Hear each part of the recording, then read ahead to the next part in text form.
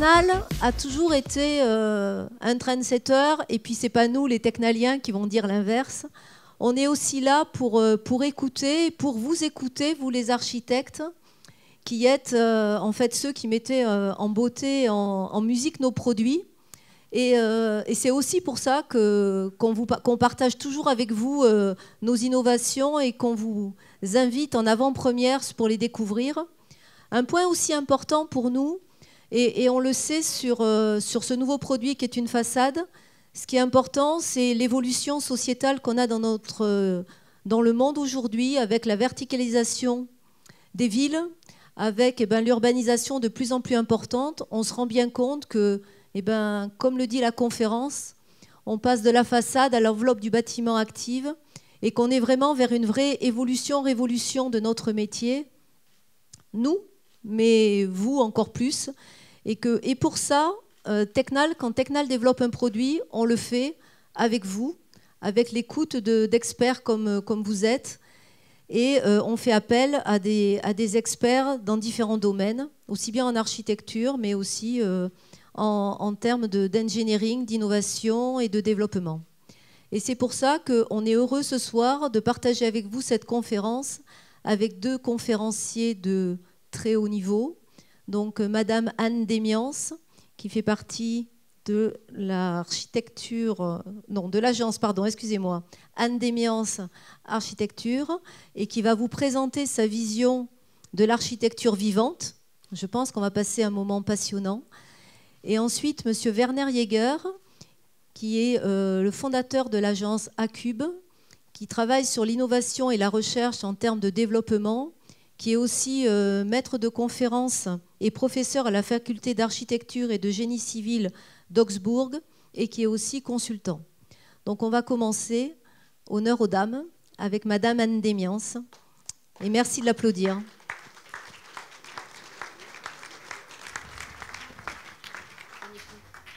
On m'a posé une question pour vous. Qu'est-ce qu'une architecture vivante? Bon, bah, Donc du coup, euh, je vous ai euh, fait une petite intervention sur mesure, hein, en essayant de répondre au mieux à ce que je considérais pouvoir être considéré comme une architecture visante. Euh, on ne peut décider a priori de faire une architecture vivante, ni décréter qu'elle le sera, simplement parce qu'elle serait gesticulatoire ou spectaculaire, comme le sont trop souvent les réalisations actuelles. À l'exception peut-être du musée Guggenheim de Bilbao, qui a réussi l'alchimie étonnante de redonner vie à une ville entière par l'attractivité de son architecture et des expositions qu'elle abrite. De même, les grands plans d'urbanisme qui sont programmés et tracés pour devenir vivants le sont rarement. Et la qualité de leur architecture, qu'elle soit magnifique ou hideuse, simple ou complexe, ne détermine pas si elles seront vivantes ou non. Car l'architecture ne peut en rien, sans le génie de l'assemblage, et du hasard, sans le choix d'un site qui sera ou non en cohérence avec une vision prospective et attentive de l'évolution des usages et du bon équilibre entre les contingences économiques, géographiques, esthétiques propres à ces destinations. La chaîne hôtelière Mama Shelter, lancée par Serge Triano, est un contre-exemple remarquable par sa proximité avec la Flèche d'Or, euh, alors même que son architecture, placée dans un quartier sans grand intérêt, rue du Bagnolet dans le 20e, n'est en rien remarquable. Ce sont son implantation, inattendue et le caractère décalé des espaces dessinés par Philippe Stark qui ont contribué précisément à donner une visibilité attractive au site en le rendant non seulement vivant, mais aussi et soudainement central. Mais on peut aussi transformer un endroit mort en un lieu vivant, transformer un espace par le changement d'usage, comme exemple, je prendrai la High Line de New York City, par exemple, qui reste un modèle de réussite spectaculaire en matière de mutation. La création de cette traversée piétonne et paysagère sur un ancien réseau ferroviaire a permis d'inverser la dimension désespérante de ce morceau de ville laissé jusque-là inerte et oppressant. Il est devenu un lieu vivant, où s'opèrent des rencontres fortuites ou préparées et des activités diverses et improbables.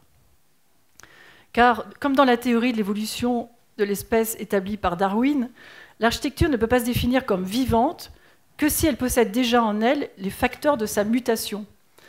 Elle ne peut alors être considérée comme vivante dès lors qu'elle se présente comme génétiquement adaptable aux évolutions de ses usages et complètement disponible pour vivre les évolutions et les transformations de ces espaces.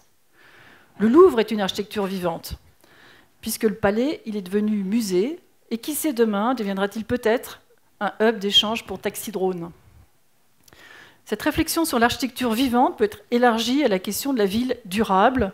L'architecture vivante contribuera par sa capacité à s'adapter aux changements d'usage, à sortir de la zone grise des quartiers caractérisés par une obsolescence précoce. Cette obsolescence précoce est souvent liée à une réponse conjoncturelle exprimée par un surdéterminisme formel et fonctionnel répondant à l'immédiateté de la demande sans s'inscrire dans un positionnement prospectif du bien-être des générations futures. J'en finirai en illustrant mon propos avec trois de mes réalisations récentes, à travers desquelles j'ai essayé de sortir, au prix de quelques efforts, de cette fatalité domestique et restrictive qui, éteint habituellement la construction des logements et des bureaux, mais les rendre vivants est une autre histoire. Et si elle devait s'inscrire ici, ce ne serait qu'à travers le désir d'appartenance. Tout d'abord, une opération de logement inscrite dans le quartier Masséna sur Seine-Rive Gauche. Le nom de code, c'est M9D Cadre. Une opération mixte de logement, d'hôtels de luxe, de bureaux, de commerce sur la presqu'île Malraux à Strasbourg. Nom de code, le Black Swan. Ça sera livré euh, fin, euh, en 2017. Une opération immobilière euh, construite autour du siège de la Société Générale à Val-de-Fontenay, près de Vincennes, livrée fin 2016. Donc seules les deux premières opérations sont, utilisées avec, sont construites avec les profils Tecnal. Donc M9D4, M9D4 Seine-Rive Gauche. L'aménageur de la la CEMAPA, le promoteur Vinci Immobilier, l'architecte Bruno Fortier. C'est un projet de 55 logements en accession avec des commerces. Donc le montant de la façade était de 1,5 million. J'ai installé une sorte de texture envahissante sur l'ensemble du projet, relativement fermé sur l'extérieur, mais en réalité très ouvert de l'intérieur, car je suis 100% vitré sur ces loggias. Et c'est cette disposition de texture métallique qui régule la température et permet d'obtenir l'équilibre thermique attendu. Le choix des menuiseries textales, s'est fait naturellement pour répondre aux contraintes croisées de la thermique, de l'économie du projet et de la perméabilité de l'intérieur euh, vers l'extérieur, notamment pour avoir une continuité euh, et un accroissement en fait, de la, perception de la surface par une continuité avec les loggias. Échapper aux enduits ne fut pas chose facile. Euh, dans le rapport de l'usage d'un logement en assumant la densité de la ville, tout se joue entre l'interface entre la ville et l'intimité du logement. Échapper aux enduits ne fut pas de tout repos, mais l'énoncer comme préalable, c'est déjà faire acte de résistance aujourd'hui. Déployer des centaines de mètres carrés de tôle d'aluminium perforée ou emboutie devait conduire à la nature inédite de cette opération et elle devint le socle de son succès commercial. Je pense qu'il n'y a pas de fatalité à utiliser un matériau pour un programme donné. Le fait de choisir une matérialité différente contribue à changer le regard que l'on porte sur le logement. Et ce qui m'intéressait en utilisant le métal, que ce soit sur la vêture extérieure et sur les menuiseries, euh, c'était sa capacité à durer dans le temps, sans maintenance coûteuse, sa capacité à sortir des stéréotypes et de favoriser, le cas échéant, une mutation de son usage dans le temps. Je passerai à la deuxième exemple, donc Strasbourg euh, Black Swan, qui est une opération que je réalise dans le, dans le cadre en fait, d'un concours lancé par la ville de Strasbourg. Euh, donc c'est un concours international dont, dont j'ai été lauréate il y a maintenant deux ans, trois ans. Il s'insère dans le développement de l'axe économique entre Strasbourg et la ville de Kiel, en Allemagne. C'est un projet mixte de 40 000 m2 de logements, de bureaux, de commerces, de crèches, d'hôtels de luxe. C'est un véritable morceau de ville qu'il s'agit de dessiner le long de la presqu'île Magro, ancien site industriel. Le montant du lot façade est de 14 millions. Euh, les menuiseries pour environ 1,8 million. Donc l'entreprise Technal a, su, euh, avec notre, euh, disons, notre aval ou notre soutien, je ne sais pas comment il faut le dire, se positionner dans un marché strasbourgeois qui ne lui était pas particulièrement ouvert jusqu'alors. Cette opération mixte vise à rendre compatible la préservation des espaces publics les transformations du programme qui permettent d'adapter l'immeuble aux évolutions des cycles économiques. Ces évolutions ayant une, portée directe sur l'assemblage des différentes composantes de la ville, Donc là, ici, on le voit, tous les éléments programmatiques ont une trame unique, ce qui est favorable à, son évolution dans le temps. Et aussi, dans cette perspective, la question de la mutabilité des ouvrages installerait le bâtiment dans la durée et deviendrait le support à une nouvelle esthétique, acte de résistance au style cumulatif et à l'obligation très actuelle de vouloir toujours répondre par la diversité. Je me suis attachée à répondre tout à la fois à la contrainte économique d'un projet mixte et de permettre dans le temps l'évolutivité des programmes sans que son expression architecturale ne soit impactée par les transformations. Euh, Technal a su valoriser la démarche d'industrialisation que je développe sur ce projet. Donc là, on voit le proto euh, de façade qui a été réalisé il y a, un ou deux mois et dans lequel on voit en fait euh, une mise au point en fait très précise de chacun des modules et qui vont faire que la réalisation sera, d'un point de vue exécution, parfaite. Un autre projet, euh, Val de Fontenay, les Dunes, siège social de la Société Générale. C'est un projet que je réalise pour la Société Générale, donc c'est un projet de 90 000 m2 avec un budget de façade de 37 millions, sachant que là, les profils de façade ont été dessinés sur mesure pour le projet avec l'entreprise Permastiliza. Les façades deviennent des objets extrêmement technologiques, très sophistiqué, au point de se trouver en interface inédite avec l'intérieur, lui-même modifié par l'intrusion en masse d'un esprit né du numérique. Nos comportements dans nos façons de travailler sont devenus évidemment différentes. Avec l'informatique, nous avons, besoin de, nous avons moins besoin de lumière, quand ceux qui sont propres au confort et à l'ergonomie se sont accrus. C'était général, montré jusqu'à ce projet, du métal et du verre dans toutes ses constructions. Ici, c'est l'idée que si l'homme reprend sa place au cœur du dispositif collégial et productif d'une banque, il doit bien exister une manière de l'exprimer. La démultiplication des couches utiles qui s'additionnent en façade, dont celle la plus présente du bois, c'est un bois reconstitué qui n'a besoin d'aucune maintenance, donne à voir plus de profondeur. Nous sommes là au cœur de l'identification. Jusque-là, le vert des façades exprimait la puissance de l'entreprise. Là, il s'agit d'exercer un léger glissement vers une expression plus individuelle. Nous sommes aussi, j'insiste, dans la duplication d'exigences individuelles générant d'autres façons d'utiliser l'espace. À partir de cette intention, on compte plus de façons de percevoir les choses. Les trames, les lames extérieures sont simplement est-ouest, des brise-soleil. Elles viennent atténuer la lumière directe dans les bureaux. Le clou couvert marque une certaine brillance, il est tout en aluminium. Et c'est ce décalage entre ces deux matières qui crée l'épaisseur de la façade en lui donnant une particularité, celle de remplacer les épaisseurs produites par la pierre et par le béton par de nouvelles méthodes pour rendre l'effet de cette épaisseur. La question de la répétitivité et de l'abstraction vient nourrir de la physicalité de la matière en élément ambivalent de cette expression dans lequel on se trouve. Pour finir, ce projet de Val-Fontenay insiste, insiste sur la nouvelle destination des produits de façade à développer comme des composants invisibles contribuant à des, ensembles homogènes qui font que tout est façade. Merci. Mesdames, Messieurs, bonsoir. Je suis heureux d'être ici aujourd'hui avec Nicole espace exceptionnel. Merci beaucoup. Malheureusement, je ne parle bien français. Excusez-moi. Et pour ces raisons, en plus, je suis allemand et ingénieur et je dois parler en anglais. D'accord? Okay, let's try to do it. Okay, it will be a very basic, eh bien, simple euh, English. L'anglais d'origine euh, sera, euh, sera simple et euh, la traduction française, espérons, le sera aussi.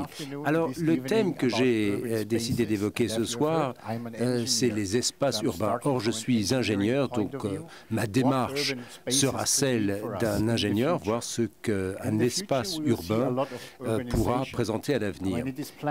Évidemment, l'avenir nous réserve beaucoup d'urbanisation, et dans 2020, moi j'aurai 80 ans à cette date, presque 65 milliards de personnes vivront dans des mégapoles. Il y aura énormément de gens qui viendront euh, habiter des, des villes, des, des, constructions urbaines de plus en plus denses, ce qui signifie que même ici, dans la région parisienne, euh, les bâtiments qui ont aujourd'hui six étages, les bâtiments demain en auront sans doute plus. Alors, est-ce que c'est un inconvénient ou est-ce qu'au contraire c'est un avantage? Évidemment, pour moi, en tant qu'ingénieur, euh, je considère euh, cette évolution comme positive. Pourquoi? Parce que, du coup, euh, la, surface euh, de, de, façade devient énorme et cette énorme surface, nous pouvons justement l'exploiter. Donc, euh, que ce soit le toit, le mur rideau, les façades en général, nous pouvons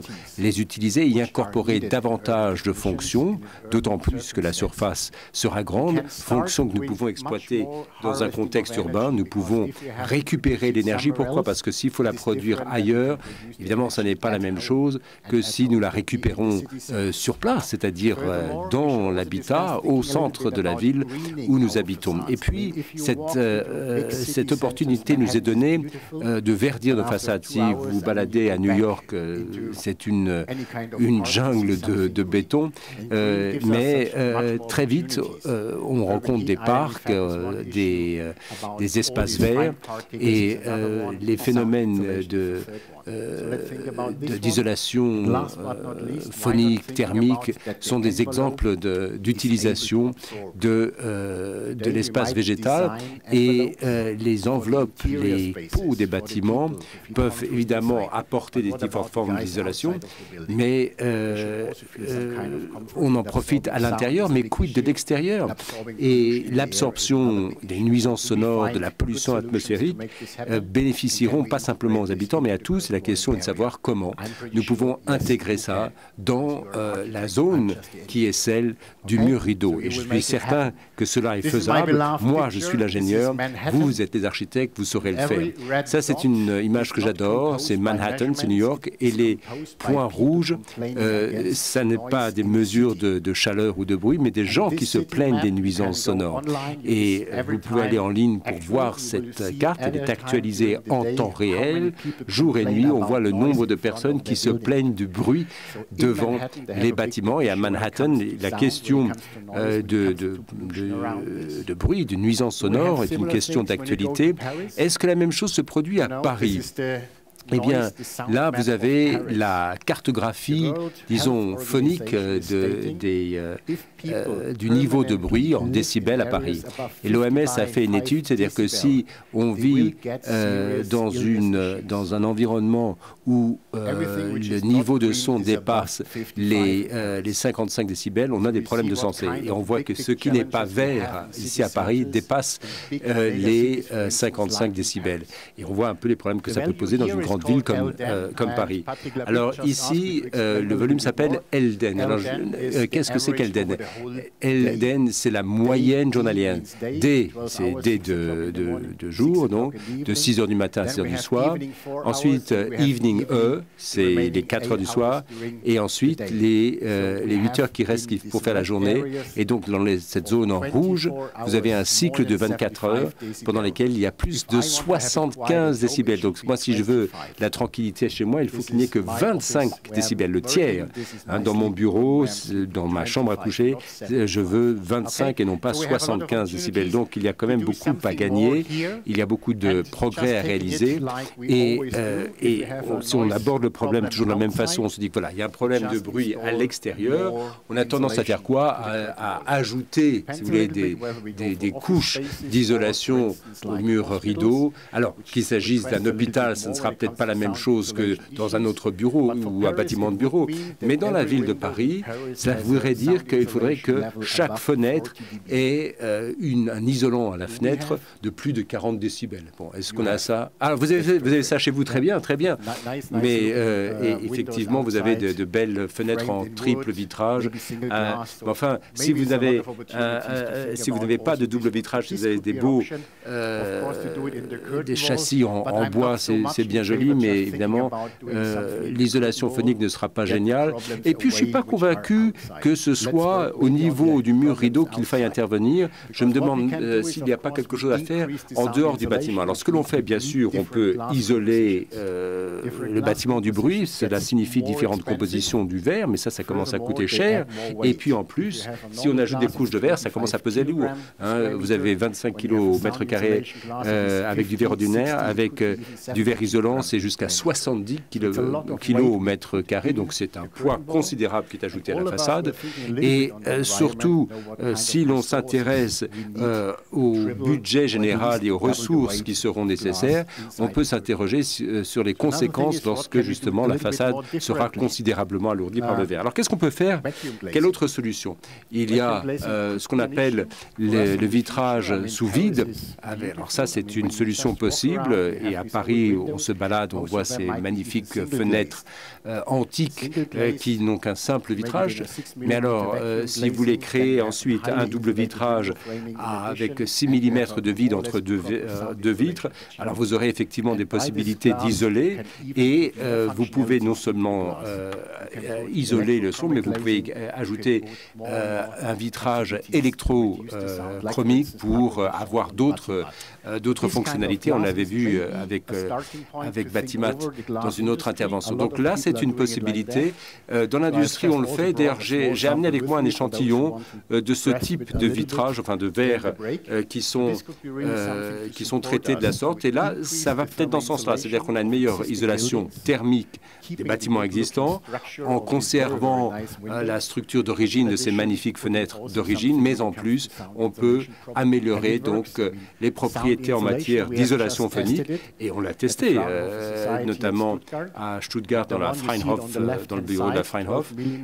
et là, vous avez euh, un vitrage, si vous avez 12 euh, mm de vide entre deux vitres, euh, ça, vous réduit de 70 décibels.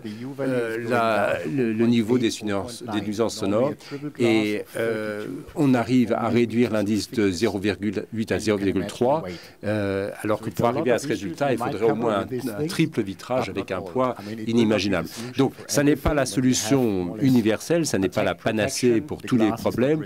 il y a des situations où, par exemple, le verre ne sera pas suffisamment résistant, donc il faudra ajouter des éléments pour renforcer la résistance du verre. À Stuttgart, on avait fait d'ailleurs d'autres expériences. Vous connaissez peut-être M. Sobeck. M. Sobeck est ingénieur, mais également architecte, et il est très connu, surtout en Allemagne, parce que euh, il euh, construit des bâtiments expérimentaux en essayant de voir si euh, certaines tentatives peuvent être ou non couronnées de succès. Alors là, vous avez justement un système à triple vitrage, mais enfin, on, on arrive à une valeur euh, de U inférieure à 0,5 et puis la composition extérieure avec euh, tout le coulissant euh, vous arrive à un niveau de, réduction du, bruit de 40 décibels. Donc là, c'est des solutions vertes qui peuvent, qui peuvent fonctionner sans obérer indûment le budget poids euh, de la façade. Alors là, c'est des choses qui se font dans certains bâtiments expérimentaux, mais dans nos centres-villes, pourquoi pas Pourquoi ne pas introduire des systèmes d'absorption du son à l'intérieur de la peau? L'absorption du bruit est un élément important parce que sans vous balader justement à New York, à Manhattan, et vous mesurez un peu le bruit, euh, rien que les, canyons euh, formés par les rues et avenues, vous avez au moins 33 décibels rien qu'avec l'effet de réverbération. Si vous aviez sur ces surfaces des éléments d'absorption, vous n'aurez pas ces 3 euh, décibels. 3 euh, décibels, si vous avez 100 euh, voitures, si vous avez 3 décibels en moins, ça fait qu'au lieu d'avoir 100 voitures, vous n'en avez que 50. Si la, la, la, limite de vitesse était de 50 km/h, pour réduire de 3 décibels le bruit, il faudrait que la, vitesse soit limitée à 25 km/h. Donc, si on arrive à créer des matériaux qui peuvent absorber jusqu'à simplement 3 décibels, euh, vous auriez une, euh, l'équivalent de la division, enfin, de la moitié de la circulation, la moitié de la vitesse de circulation. Et avec certaines techniques, on peut euh, réduire de 15 décibels. Or, on n'arrivera jamais à réduire la vitesse de circulation des voitures, à réduire l'encombrement des rues. Par contre, les 15 décibels, on arrive à les obtenir. Et puis, par des matériaux. Alors, on sait quels matériaux sont capables justement d'absorber le, bruit, le son, mais ce qui compte, c'est évidemment l'acoustique autour de la circulation. Les fréquences sont autour de 125 Hz, vous les voyez sur l'écran, jusqu'à 500 Hz. Et donc là, il faut trouver un matériau qui soit capable d'absorber justement ces fréquences-là. Alors, il y a la laine de verre, la laine de verre qui, euh, euh, qui intervient un petit peu tard. Il y a la, fibre de verre, on ne sait pas si d'ailleurs elle n'est pas nuisible. Il y a des surfaces micro-perforées. Alors, on peut micro-perforer le verre, c'est vrai. Il y a des éléments, euh, des plastiques, des isomères qui peuvent être micro-perforés et qui peuvent absorber le bruit sans faire intervenir de fibres. Et l'absorption n'est pas mauvaise. On s'en sert généralement dans les espaces intérieurs. Mais si l'on y réfléchit, si on pense par exemple au recyclage du verre, au verre recyclé, là on peut utiliser euh, du verre frité. Euh, vous pouvez l'utiliser dans différentes parties d'un bâtiment pour absorber le bruit euh, dans différentes parties d'un bâtiment. Et puis alors il y a une autre solution que j'ai découverte qui est tout à fait intéressante. Vous le voyez sur la diapo suivante, c'est une combinaison de, de fibres de verre ou de fibres minérales et de tissus fibreux de Serge, Serge Ferrari. Et lorsque on combine ces deux matériaux, ils se, ils se combinent, ils se, euh, ils se complètent parfaitement pour euh, couvrir toutes les fréquences qui sont celles de la circulation automobile, c'est-à-dire de 125 Hz à 500 Hz. Et donc là, vous avez des solutions techniques qui fonctionnent parfaitement pour absorber le bruit de la circulation automobile et euh, cela permet, permet également de réduire d'autres problèmes qui sont des, problèmes sur la santé. Alors on a fait d'autres expériences et simulations sur le bruit et l'acoustique. Il y avait une partie de la diapo en allemand. Autobahn, ça veut dire autoroute. Alors vous avez une autoroute euh, autour de laquelle il y a un certain nombre de, euh, d'immeubles de, bureaux, mais également euh, résidentiels. Et puis ce que l'on voit, c'est qu'à proximité de l'autoroute, on a presque 80 décibels et à 200-300 mètres de là, on se retrouve quand même à 53,5 décibels. Alors la construction n'absorbe rien du tout, comme vous le voyez, mais essayons de faire une simulation, euh, que se passerait-il si les surfaces étaient absorbantes? Alors, si le son et le bruit étaient absorbés, on passerait de 54 à 48 décibels, une belle réduction. 6 euh, décibels donc d'écart. L'équivalent, euh, c'est comme si on passait de 100 à 25 automobiles. C'est comme si on ramenait la vitesse, la limitation de vitesse de 50 à 12 km/h. Donc c'est quand même quelque chose de tout à fait spectaculaire. C'est quelque chose de très dynamique et il est tout à fait possible euh, de réduire le niveau de bruit simplement en faisant intervenir des matériaux de surface capables d'absorber le bruit. Et puis, euh, les fenêtres que nous euh, concevons ou le verre que nous prescrivons peut lui aussi être modifié. Au lieu d'avoir des, des verres très épais qui ont certes des, des propriétés isolantes, on pourrait utiliser des verres plus fins en, le combinant, en combinant ce verre à des matériaux qui figureraient sur la façade ou autour euh, du mur rideau qui entoure donc euh, le bâtiment. Et du coup, on pourrait réduire le poids. Et puis, euh, dans les simulations, si on veut donner une forme à la surface du bâtiment, si vous avez une surface plate, évidemment, le, son fait écho, il rebondit pour ainsi dire. Lorsque la surface est courbe, le son, évidemment, réverbère dans toutes les directions, mais l'incidence, évidemment, euh, va dans tous les sens. Alors si on peut, euh, d'une part, absorber le son et d'autre part, donner une forme à la, à la façade, une forme adéquate, on peut euh, réduire considérablement le niveau de bruit. Et encore une fois, dans ces canyons tels qu'on les trouve dans certaines rues et avenues de New York, mais également dans certaines rues de Paris. Et puis, il y a l'effet îlot de chaleur. Alors je ne sais pas si c'est un problème ici à Paris, mais croyez-moi, en Allemagne, le problème se pose. On a des situations où les surfaces euh, en été sont euh, d'une telle température, atteignent une telle température que euh, ça devient invivable. Alors là, c'est une, ancienne photo, une image qui date d'un été particulièrement chaud, je crois que en 2003.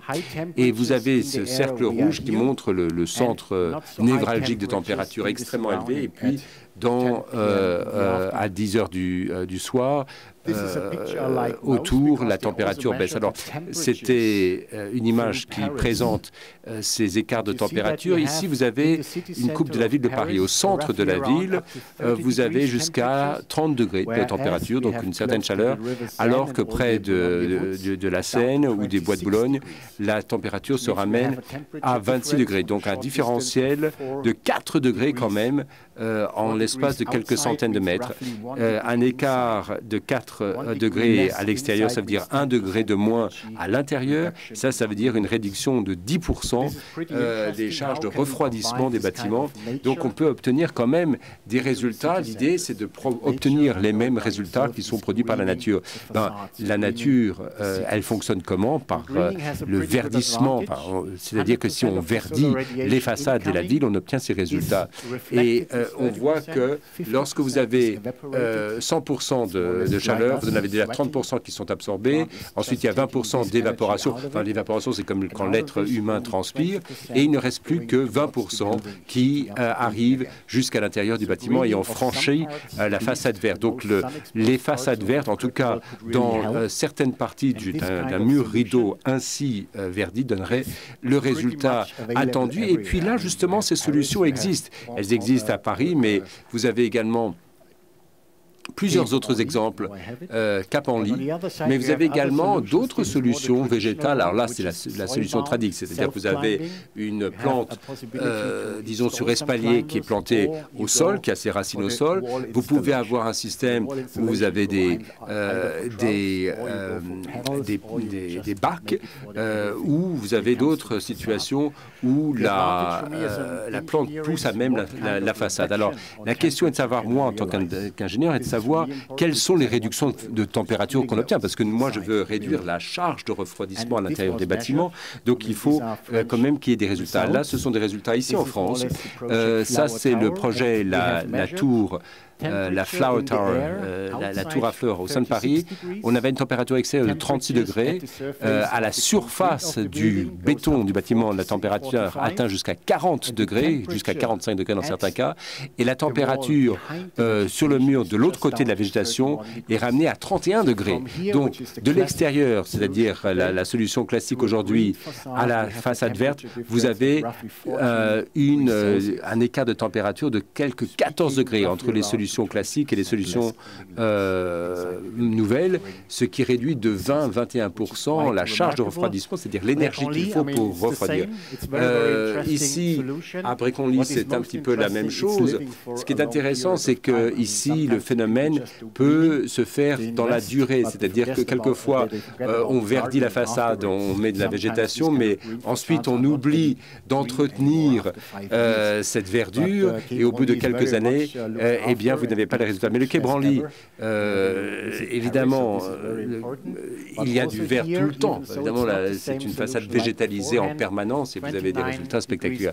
Mais alors, là, vous avez une température ambiante qui passe de 25 euh, à 23 degrés, donc, pardon, de 29 à 23 degrés, donc encore une fois 10 de réduction du simple fait d'avoir une façade euh, végétalisée. Et puis alors, il est important quand même de se rappeler que euh, pendant la journée et pendant la nuit, il y a également le phénomène de ventilation. Euh, souvent en été, on ferme les fenêtres pour ne pas avoir euh, en pleine nuit une température extérieure de 35 degrés qui viendrait envahir nos chambres à coucher. Mais si vous avez cette façade végétalisée, eh bien, il y a 30 à 40 de chaleur en moins qui entre. Et alors, si vous faites votre calcul, ça vous fait 20 euh, de moins d'énergie nécessaire pour refroidir, enfin d'énergie de refroidissement, du simple fait d'avoir une façade végétalisée. Ça n'est pas d'ailleurs que pour des effets d'isolation thermique, vous pouvez également des effets d'ombre, on peut le faire à Brissolet, on peut le faire au Quai enfin d'autres solutions peuvent se faire. Autrement dit, euh, les solutions euh, de verdissement de façade végétalisée permettent d'absorber jusqu'à 50% du rayonnement solaire en utilisant donc la végétation, la, façade végétalisée, pour faire des effets d'ombre. Et donc vous avez également l'ombre qui s'ajoute au phénomène d'absorption de la chaleur. Mais il y a aussi absorption du bruit, parce que figurez-vous que les plantes vertes et que la végétation d'une manière générale a également cette capacité d'absorption du bruit. Ça a été mesuré. Et évidemment, ça dépend évidemment de l'épaisseur de la végétation, mais on peut réduire de près de plus de 10 décibels euh, le niveau de bruit. Rappelez-vous, les 3 décibels, ça fait passer de 100 voitures à, 50 voitures. Donc, euh, si, euh, si vous réduisez de 10, 10 décibels le niveau du son, c'est-à-dire qu'au lieu d'avoir 100, 100, voitures devant votre maison, vous n'avez plus que 10 ou 15. Donc, c'est quand même considérable. Encore une fois, les solutions végétales sont excellentes pour ces solutions, également pour des solutions de ventilation urbaine. Et ça, c'est un point important. On peut ventiler soit par des flux, euh, euh, évidemment, des flux d'air, de vent, si tant est qu'il y a du vent, mais on a du, on a du mal dans les grandes villes. Et dans les grandes villes où notamment vous avez des bâtiments élevés, euh, vous avez la, vitesse de l'air qui est quasiment nulle, et donc la force naturelle éolienne n'intervient pas. Ce qui peut intervenir, c'est la convection naturelle dans les centres-villes. Et là, vous avez des températures élevées où il y a des flux d'air qui sont en quelque sorte mis en mouvement par les différentiels de température. C'est-à-dire que la température, les, masses d'air chaud s'élèvent et euh, elles sont remplacées en bas par des masses d'air froid. Mais ça, vous pouvez arriver à ce cycle que si vous avez des couloirs d'air, une architecture urbaine qui vous permet d'arriver à ce phénomène de circulation d'air. Là, j'ai fait, je suis allé chercher sur Google, c'est le parc Montsouris à Paris, donc, et je suis allé voir euh, sur Google euh, quelle était la direction principale du vent. Elle, va, elle, elle, elle va dans le sens sud-ouest et lors de la planification urbaine, on voit que euh, les villes vont du sud-ouest au nord-est. Donc euh, euh, là, on a calculé que si le, le, vent souffle dans le bon sens, eh bien, il traverse les rues, donc il, il, longe les rues, il va dans le sens des rues et ne sera pas bloqué par les bâtiments. Donc il y a eu une véritable planification urbaine, en tout cas d'après ce que j'ai pu voir sur Google, cette planification-là, euh, cet agencement urbain a donné des résultats. Euh, il y a une autre ville, Vienne, en Autriche, qui justement, euh, lorsque vous construisez un immeuble à Vienne, vous ne devez pas faire obstacle à ces flux d'air qui servent justement au phénomène de refroidissement pour éviter donc que l'air soit bloqué, hein, que les masses d'air soient bloquées en ville. Mais lorsque le, le problème, c'est dans l'autre sens, lorsque le vent arrive en force, ça peut provoquer des dégâts. Euh, on avait calculé, euh, lorsque vous avez des vents de force 9 ou 10 ou 11 même, euh, vous avez, bon, vous avez des tornades. Hein, ça, c'est, alors, je ne sais pas s'il faut aller, s'il faut des... Euh, alors, les, Américains ont besoin de, euh, de bâtiments capables de résister aux tornades. Je ne sais pas si en Europe c'est nécessaire. là, vous avez l'Europe et vous avez toutes les tornades qui ont eu lieu en Europe, qui sont ainsi cartographiées. Bah, vous vous rendez compte qu'il y en a quand même un certain nombre. Il y en a un certain nombre. Et en 2008, il y a eu une tornade de force 4 euh, à la, aux frontières de la Belgique. force 4, vous avez des vitesses qui vont entre 250 à 300 330 km/h. Donc c'est vraiment des, des, des, tornades ne sont pas accidentelles, ce sont des phénomènes finalement assez courants, pas simplement aux États-Unis. Euh, alors nous, euh, en Allemagne, nous essayons justement de tenir compte de ces phénomènes. Non seulement ça, euh, mais il y a en plus le changement climatique qui va peut-être apporter d'autres phénomènes climatiques, notamment des vents tornades et autres phénomènes qui sont pour l'instant rares, qui deviendront plus fréquent. Arrivé à, Beaufort 11, évidemment, toutes les, euh, toutes les façades peuvent euh, tenir jusqu'à 500 euh, pascal de pression, il n'y a aucun problème. Mais si vous avez une tornade Fujita F2, là, on se retrouve à 2500 pascal de pression. Donc, c'est-à-dire qu'il y a une pression de 250 kg par mètre carré sur sur chaque façade, sur chaque partie de la façade. Donc ça, c'est quand même une sacrée pression qui doit être intégrée dans la, structure de la façade pour résister à ce genre de force. Et puis là, justement, avec une force Fujita F2, si vous avez une surface entièrement en verre, vous avez des déflexions de 15 mm du verre, des flèches de 15 mm, et donc pour cela, il faut une dimension statique d'au moins 2000 cm x 4, c'est-à-dire qu'il faut avoir une construction extrêmement rigide, c'est faisable euh, pour que, euh, alors euh, je ne veux pas le dire à haute voix, mais il se trouve que la solution de Technal présente à peu près 2000 et quelques, et donc c'est ce qui est capable de résister à une tornade de, type Fujita F2, ce qui est assez, assez convaincant. Alors, on a parlé du verre, et le verre intervient souvent dans différents façade. À droite, qu'est-ce que vous avez Pardon, à gauche, vous avez, ça c'est quelque chose que j'aime beaucoup puisque c'est le, centre de Manhattan, mais à droite, c'est Dubaï. Alors Dubaï, c'est peut-être moins sympathique puisque vous avez la, le, réfléchissement de, la lumière du soleil. À Londres, on a tenté quelque chose. Alors évidemment, c'est un projet euh, connu qui n'a pas été sans problème. Tout le monde a entendu parler de la, tour euh, Walkie-Talkie, où où la surface de la façade a été arrangée de manière finalement un peu malheureuse, puisque finalement euh, elle dirigeait vers le sol toutes les, euh, tout ce qui était euh, chaleur et, pas simplement bruit. Et il y a comme une espèce de rayon laser qui est venu euh, faire fondre une, une laser euh, garée devant l'immeuble. Et effectivement, lorsque la lumière du soleil réfléchit de la façade, ça peut vraiment la concentrer de manière extrêmement dangereuse. Alors la question est du type de, de gainage, de gainage pardon, que l'on peut, que l'on peut mettre sur la façade pour éviter ce genre de, de, de, situation. Là, on a mis du brisolet sur cette surface réfléchissante. Alors j'ai fait une simulation sur ordinateur. Alors le problème des outils de simulation, c'est que euh, les, euh, les couleurs semblent rassurantes, parce que lorsqu'on va euh, au-delà de 1000 par mètre carré, on est tout en jaune. Donc on se dit, on, est à 1000, pas de problème. Mais en fait, si vous posez un capteur, vous voyez que ce n'est pas de 1000, mais de 1300 qu'il s'agit. Et lorsque j'ai fait une simulation, sur l'éclairage d'une pièce, on en est à 10 watts par, euh, euh, par mètre carré. Et là, là, on a 1300. C'est des watts par mètre carré, donc c'est une énergie qui, est, euh, qui se trouve ensuite concentrée sur le toit de la Jaguar qui est ainsi fondue au soleil. Enfin, au soleil, justement, sous les rayons ainsi réfléchis par la surface. Et donc, il se, donc chaque 100, 100 enfin, cm carré de, de, cette, de ce mur rideau doit avoir un bricelet qui soit capable d'absorber cette lumière sans compromettre les autres contraintes architecturales euh, du, bâtiment et de la façade. Alors, évidemment, on peut organiser différemment les façades. Enfin, c'est vous qui vous pouvez, vous les architectes.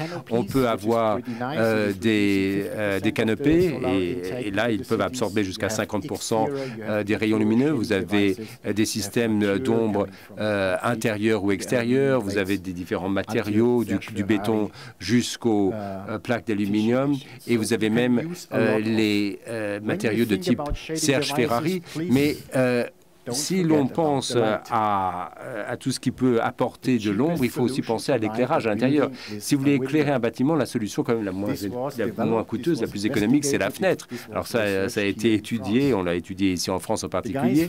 Euh, L'Institut NTPA a fait un, calcul pour voir ce que coûtait euh, l'éclairage artificiel euh, des pièces avec différentes formes de mesure. Le coût le plus faible, c'est euh, l'éclairage donc euh, naturel par la, par la fenêtre. Si vous mettez un système d'ombre devant la fenêtre, bah, d'où va venir la, lumière On se le demande. Et alors justement, il faut créer un système qui peut apporter de l'ombre, mais qui en même temps permet à la lumière de passer. Et ça, c'est pas évident. C'est un petit peu la quadrature du cercle pour tous les architectes, parce que évidemment, on, ne, on veut euh, ménager en quelque sorte la chèvre et le chou, mais il faut savoir ensuite quel type de mécanisme est le plus adapté. Alors, on veut quand même, au bout du compte, un certain confort à l'intérieur, et on peut mesurer en quelque sorte le confort ressenti avec, par rapport aux normes ISO. Alors ces normes ISO, là c'est une simulation qui a été faite de minuit euh, jusqu'à midi et de retour à minuit en utilisant euh, des systèmes d'ombre. Alors ça, ça, peut être des, des, stores intérieurs et extérieurs. En bleu, vous avez donc les systèmes euh, de store à l'intérieur et en fin d'après-midi, les, 95% des gens se plaignent de la chaleur excessive à l'intérieur. De l'autre côté, si vous n'avez qu'un système de store à l'extérieur de store ou d'autres systèmes d'ombre, eh bien, vous avez 20% des personnes qui seront malheureuses à 6 heures du soir. Alors, à 3 heures, 95% et 20%, à 6 heures du soir, bon, vous faites votre choix. Quel genre de, système vous allez choisir? Dans certains cas, on ne peut pas avoir de système de store extérieur en raison du vent ou d'autres raisons, mais au moins, c'est des solutions qu'il faut envisager. Puis, l'autre genre de solution, ce sont les, les verres dire électrochromiques. Alors là, la question ne se pose plus de, euh, de, puissance du vent ou, de, euh, ou autre. Mais euh, là, on a fait une simulation qui concerne les différentes parties à l'intérieur du bâtiment. Donc au nord, au sud, à l'est ou à l'est, il y a quand même des, des, différentiels. Et là, évidemment, de même que pour le système de store, évidemment, on, on, on l'ajuste en fonction de la position du soleil. Alors moi, j'aime bien ce, ce système, mais la question se pose quand même de savoir quel sera le rendu de couleur, c'est-à-dire euh, si j'ai euh, du verre ou euh, un système de toilage ou autre chose, ça va déformer ou ça va modifier les, couleurs. Alors on a un système, un, indice CRI et qui se mesure de 0 à 100%. Et là, vous avez différentes normes. Tout à gauche, vous avez une pomme qui ressemble à la couleur qu'elle aurait à la lumière naturelle. Et puis de l'autre côté, euh, on, on, retrouve à 80% de réalisme, enfin de, déformation chromique. Alors évidemment, euh, moi, ces couleurs sont considérées comme acceptables. Pour moi, je trouve que c'est euh, qu'il y a déjà trop de déperdition. Et c'est quand même un point qui compte, parce que si on vit dans un environnement où tout est tamisé de manière telle qu'on n'y voit plus, plus rien, c'est peut-être pas ce qu'il y a de mieux. Et puis alors ensuite, il y a d'autres interventions. Lorsque l'on peut modifier l'angle euh, de, la, euh, de la fenêtre ou de la, vitre par rapport à la façade, euh, un degré de moins à la température d'une pièce peut réduire de 5 à 10% la charge de refroidissement par an. Donc on peut voir par l'orientation des fenêtres quels résultats on peut obtenir. Alors justement, il y a des solutions qui ont été essayées. Là, c'était le projet Black Swan à, à Strasbourg. Alors, alors Black Swing, parce que black, comme son nom l'indique, c'est une surface euh, noire. L'idée, c'est également d'éviter un échauffement excessif dans un contexte urbain avec des matériaux qui, qui réfléchissent dans la partie du proche infrarouge. Autrement dit, vous avez à peu près la même couleur, alors dans la partie euh, visible, mais cette couleur-ci et celle-là réfléchissent la partie euh, du proche infrarouge du spectre lumineux. C'est-à-dire qu'on ne voit pas de ces différences, mais on la ressent en termes de température et autres. Et on a mis des volets hein, devant les pièces où la euh, chaleur est mesurée. Là, vous avez le nouveau revêtement à gauche et le revêtement classique à droite. Eh bien, les différentiels de température, enfin, à l'extérieur, vous avez de 8 euh, à 9 degrés euh, de, différence à l'extérieur. Et euh, avec le nouveau revêtement, le refroidissement était d'un degré 5 euh, supplémentaire. C'est-à-dire que ça veut dire 15% de moins d'énergie nécessaire au refroidissement. Donc on peut jouer sur les couleurs et les fonctions, mais enfin, rien qu'avec ces nouveaux revêtements, des gains sont obtenus alors que c'est parfaitement invisible à l'œil nu. On a fait la même chose sur le projet euh, du Louvre d'Abu Dhabi de Jean Nouvel, pas, pas pour le bâtiment de Jean Nouvel, mais pour la couverture ou la, le revêtement sur le toit. Il s'agissait pas d'avoir un un, toit blanc, mais un toit euh, gris ou grisâtre. Le problème du gris, c'est que le gris absorbe énormément d'énergie solaire. La question est de savoir quel type de revêtement utiliser. Pourquoi? Parce que, évidemment, ensuite, les gens doivent se balader sous cette immense coupole du Louvre de, d'Abu Dhabi, on a fait une simulation avec le genre d'activité qui pourrait être celle de ce, de ce bâtiment. Et la question qui s'est posée était de savoir quelle était la température ressentie par ce visiteur qui se balade sous la coupole du Louvre d'Abu Dhabi. Alors, sans le revêtement qui réfléchit le proche infrarouge avec une température extérieure de 45 degrés, la température à la surface est de 56 degrés. À 50 degrés, euh, euh, si vous êtes plus de 10 secondes dans une température de 50 degrés, euh, vous subirez un coup de soleil ou une véritable brûlure.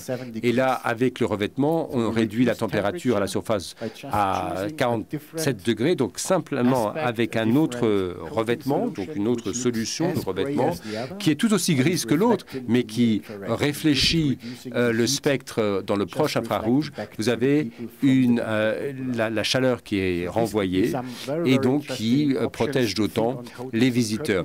Donc là, c'est le genre de revêtement qui pourrait également intervenir sur les murs rideaux et sur les façades, façades en général. On a mesuré d'autres d'autres expériences qui seront présentées ici. L'aluminium. L'aluminium n'est pas censé être top en matière de... Euh, enfin, moi, qui suis ingénieur, je, devrais le savoir. Je suis bien placé pour vous le dire. Bon, alors, l'aluminium. Quel est le problème de l'aluminium? euh, C'est que sa conductivité euh, thermique est élevée. Alors, la question est de savoir est-ce que l'on peut faire quelque chose d'utile avec un métal qui a une forte conductivité? Moi, j'ai utilisé des matériaux à surface euh, changeante, c'est-à-dire qu'on recouvre d'une solution alcaline la surface euh, du métal, et voilà ce qui se passe. Alors, ce qui se passe, c'est que lorsque l'on met des émollients sur euh, le matériau du, du mur rideau, c'est que vous avez euh, une surface qui fond extrêmement rapidement, qui fond euh, en été très rapidement et qui retrouve l'état solide euh, lorsque la température baisse. Alors, lorsque vous avez, lorsque cette matière fond, vous avez énormément d'énergie qui est repoussée. C'est un peu comme l'effet glaçon qui, qui fond.